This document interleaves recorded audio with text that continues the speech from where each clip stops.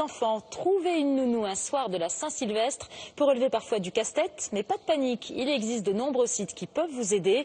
Mais pour être sûr que tout se passe bien, un entretien avec la babysitter et la famille est indispensable. Reportage de Clémence Delabaume et de Vivien Roussel. Faire la fête avec ses enfants, un plaisir pour ce jeune couple. Mais le soir du 31, il préfère se retrouver seul. Pas simple. On a essayé d'appeler toutes les personnes euh, susceptibles de garder des enfants et qui voilà, qui n'ont pas pu. A déjà sollicitées par le passé, qui sont nos, un peu nos babysitters euh, habituels. Et on a trois personnes et ces trois personnes étaient indisponibles. Donc il a fallu qu'on trouve un nouveau moyen de trouver des personnes. Et ce nouveau moyen de trouver une babysitter, c'est Internet. Les sites de mise en relation entre parents et nounous fleurissent sur la toile.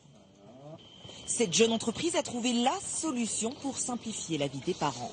Voilà, par exemple, vous pouvez cliquer euh, le 15e arrondissement de Paris et donc vous tombez directement sur une page de résultats avec tous les profils euh, des babysitters qui sont localisés euh, dans le 15e arrondissement. Ça coûte beaucoup moins cher de passer par notre marque plutôt que par une agence qui prend des commissions non seulement sur la rémunération du babysitter mais également pour des frais d'entrée dans l'agence. La première inscription sur le site est gratuite. Ensuite, l'abonnement coûte entre 5 et 13 euros par mois. Bonjour monsieur. Mademoiselle. Alors, la famille Chiki a tenté l'expérience. En 24 heures, ils ont déjà reçu une dizaine d'appels de babysitters.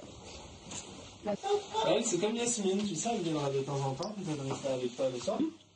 Ce soir-là, ils rencontrent Héloïse Bompard.